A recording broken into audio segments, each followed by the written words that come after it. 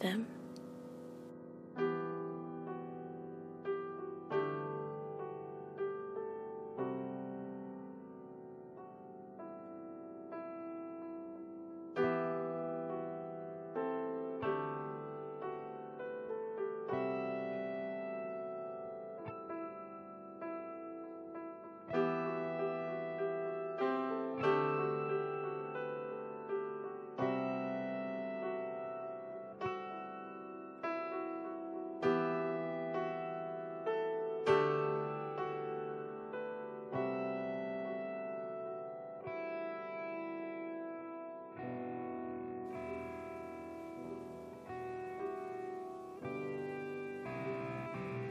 The world is on fire.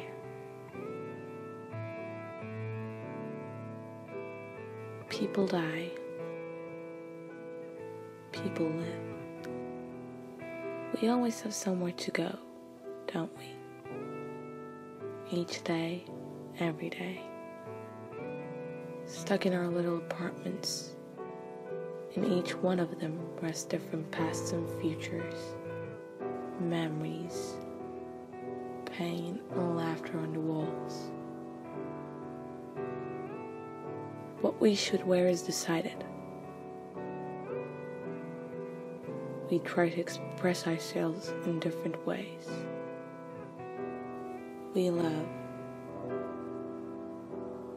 Maybe till eternity. Or we breathe in our lonely lives.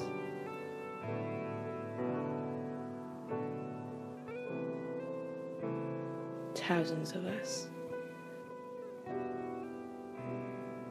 Just standing there and waiting. But for who?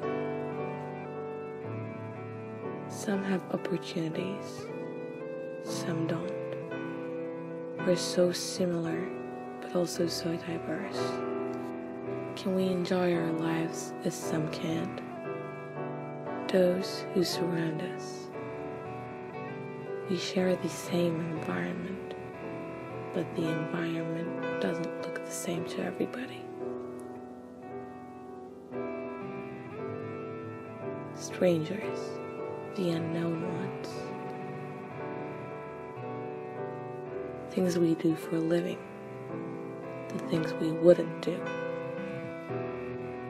Each one of us wants to leave a mark before leaving the world. We want to be remembered. We want to be remarked. I guess being invisible is not a superpower, but a defeat. A defeat that everyone gets at least once in their lives. Life is unfair. People are unfair. But why aren't we trying to change it? Each one of us is unique, like each flame that comes out of a bonfire.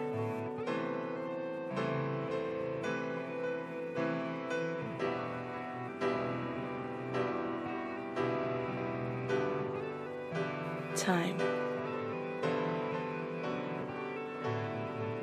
We like having a company.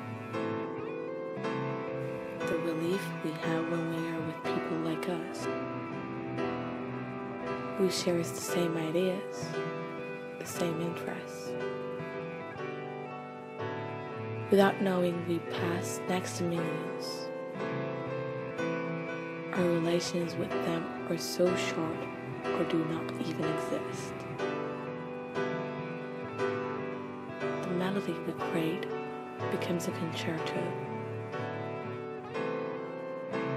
We hear every one of us. This mixture blends so well that we keep listening to it from dawn to sunset.